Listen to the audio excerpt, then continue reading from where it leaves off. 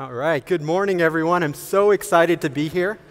My name is Saad Ali. I am an engineer at Google and co chair of SIG Storage. I'm really, really excited to be here in Barcelona, Barcelona and see all of you.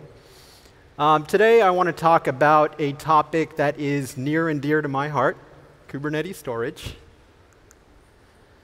So, by now, I think most of you are aware of the benefits of Kubernetes. You've heard of a lot of uh, folks running uh, large-scale production clusters.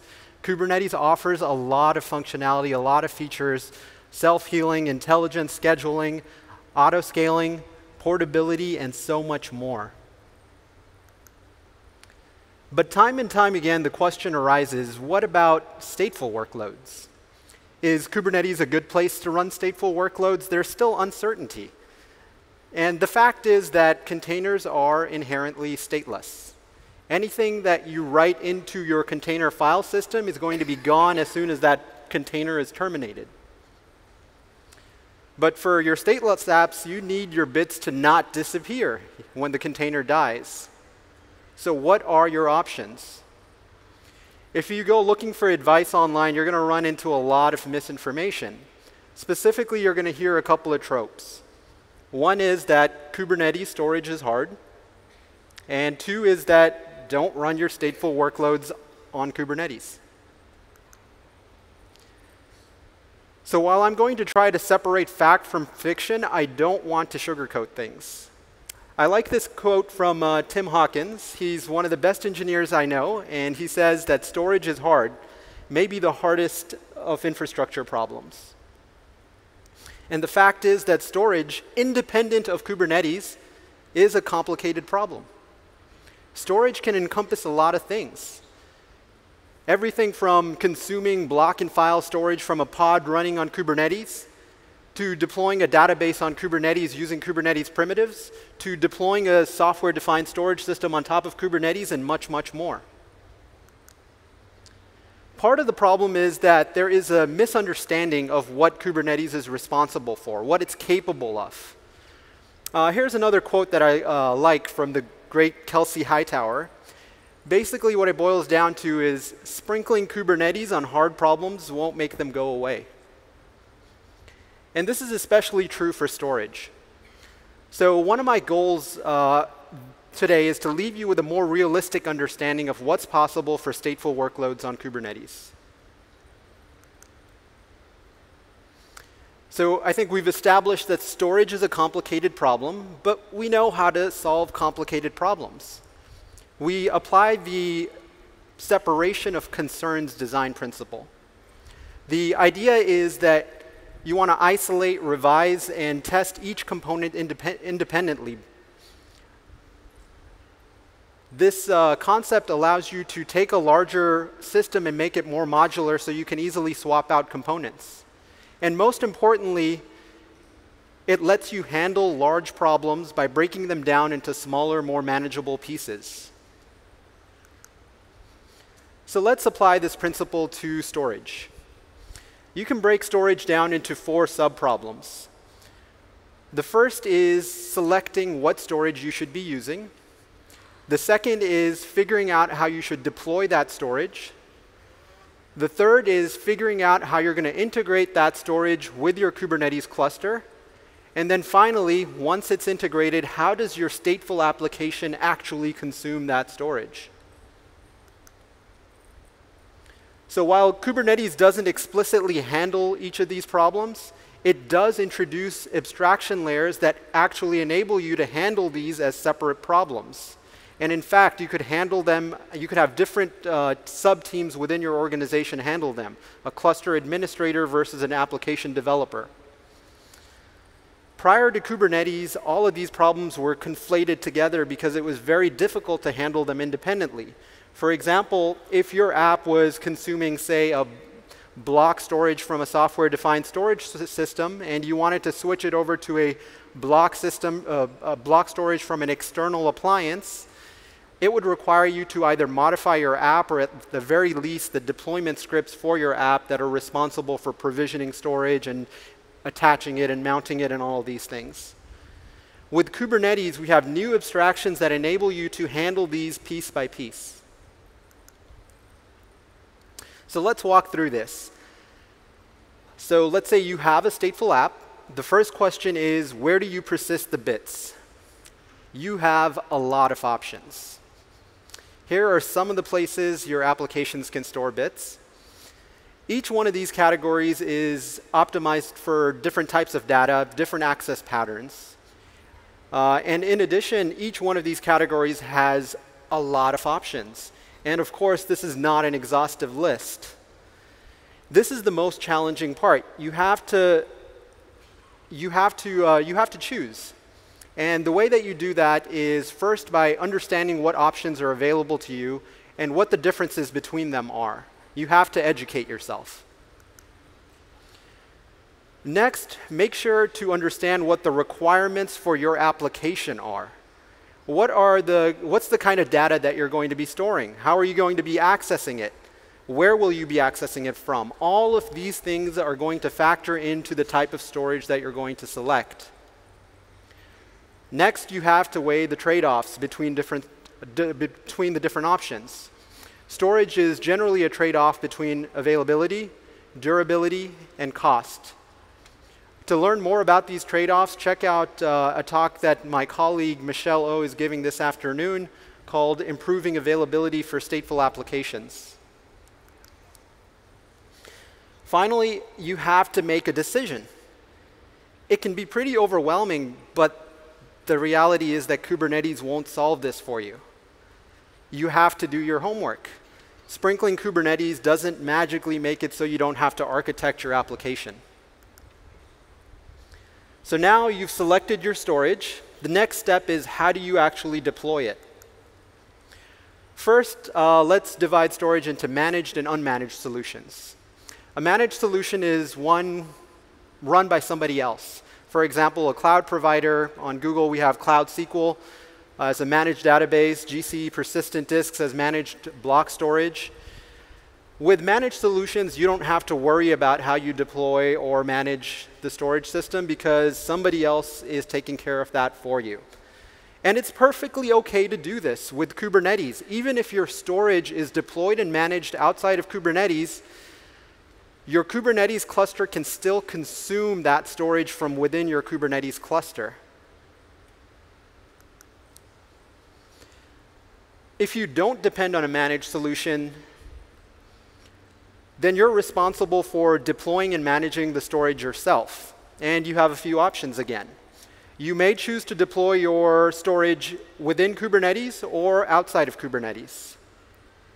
And this is one of the keys that I want you to take away from this talk is that the deployment and consumption of storage are independent problems. So it's perfectly okay to deploy your storage outside of Kubernetes while you consume it within Kubernetes. For block and file, for example, you may have a dedicated external storage appliance that you're using for your storage, and that's okay. For data services, you may have a legacy database that's already running on some VMs, and it's okay to leave them there. You don't have to deploy your storage on Kubernetes in order to use it. But you may choose to deploy your storage on top of Kubernetes. And if you do, then it becomes just another stateful application that you're deploying on top of Kubernetes. Yesterday, uh, David Zhu and Jan Safranek from Red Hat gave a great uh, tutorial about deploying stateful workloads on Kubernetes. Check that out if you're interested in the details of exactly how you deploy stateful applications. But the key here is that when you deploy storage on Kubernetes, it's just like deploying any other storage, uh, any other stateful application on Kubernetes. Now, stateful apps uh, like databases can get fairly complicated, and they can have very complicated life cycles. Uh, for example, a database may have custom scale-out logic that replicates the data and may have special steps that it needs when it needs to be upgraded. Kubernetes doesn't know how to handle that. Brian was talking about how Kubernetes is not the end. Kubernetes gives you the primitives that you can use to build higher level functionality. And this is where Kubernetes operators come in. Kubernetes operators are CRDs, custom resource definitions, and controllers that manage the deployment and lifecycle of your application. So if you have a sufficiently complicated application, which is especially true for a lot of stateful workloads, what you want to do is look for an operator for the type of stateful app that you're deploying to make it easier to deploy and manage that application. So again, the recommendation here is if you have a sufficiently complicated stateful application, use an operator. I want to call out specifically uh, deployments of software-defined storage systems on Kubernetes. This is where I hear a lot of confusion. Um, software-defined storage systems are basically software that aggregates disks across a cluster and exposes durable storage on top of those uh, disks. So for example, Ceph and Gluster are open source examples, and there are a bunch of proprietary variants we have to remember that you can choose to deploy your software-defined storage system on top of Kubernetes, or you could choose to deploy it outside of Kubernetes. Regardless, you can consume that storage within Kubernetes uh, without issue, regardless of where you deploy it. And like any other uh, storage or stateful uh, application, if you do choose to deploy your software-defined storage on top of Kubernetes, it's just another stateful app which means that you're probably going to deploy it using an operator.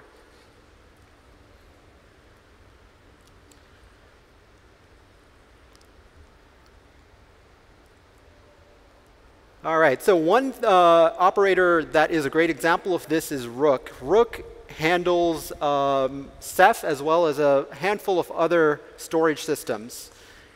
Um, Ceph is a software-defined storage system that lets you consume local disks and expose block or file storage. To find out more about Rook, check out a, a, talk this afternoon by Jared Watts. He actually has a number of talks on Rook, uh, and uh, you can find out all about, uh, all about Rook through those talks. So once you've deployed your storage, the next challenge is how do you actually make it available within your Kubernetes cluster? Now, before we talk about integration, let's simplify our storage options. This is a lot to take in. We've been throwing around a lot of buzzwords. I talked about a lot of example, uh, example categories before. Let's divide them into two areas, data services and block and file storage. Uh, by doing so, a pattern begins to emerge. Your stateful applications may depend on data services or directly on block or file storage. Your data, your data services, in turn, may themselves depend on another data service, or they may depend on block or file. But eventually, somewhere, something needs to write to disk. Something needs to be able to persist those bits to a physical medium, maybe flash or a spinning disk.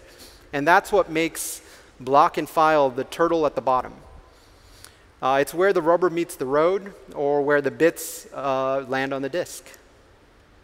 So with that clarification, let's move on.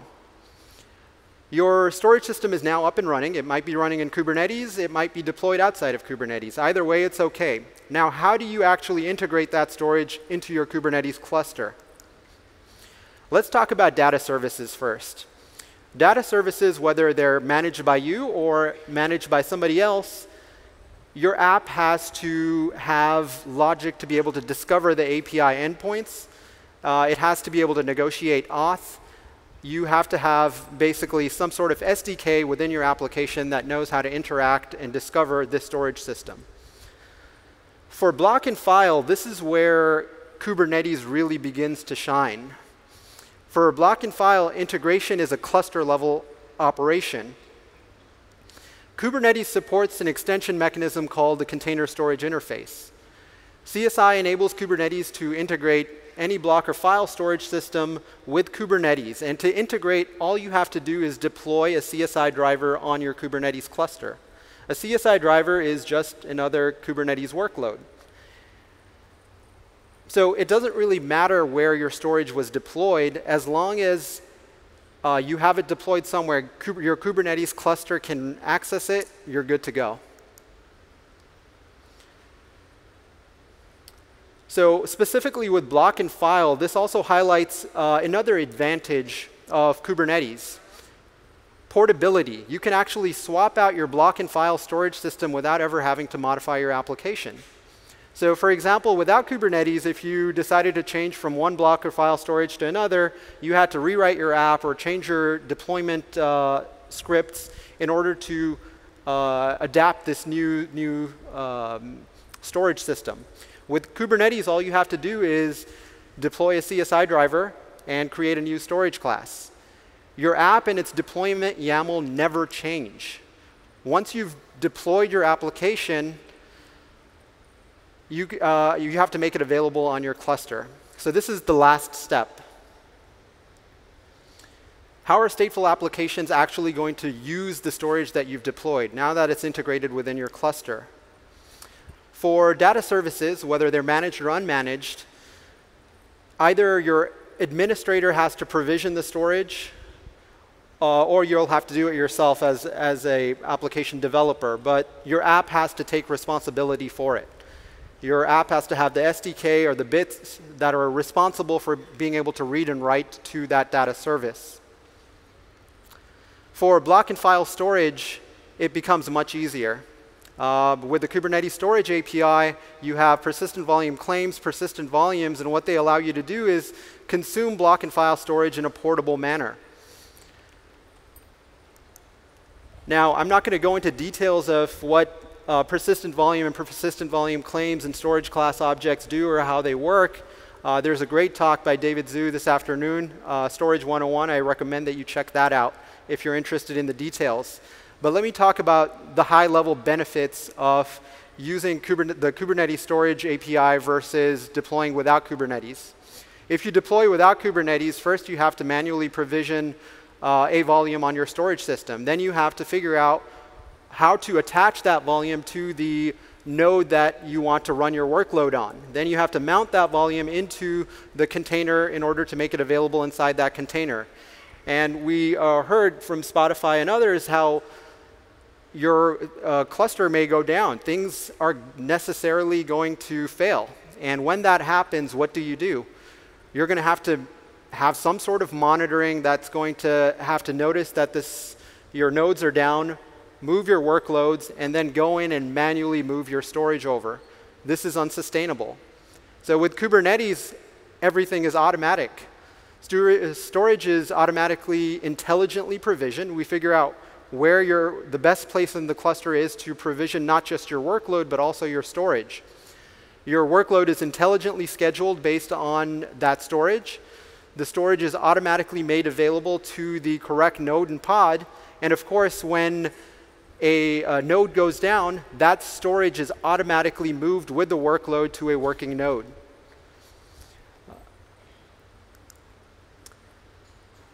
So let's wrap things up. The reality, of course, is that storage is complicated.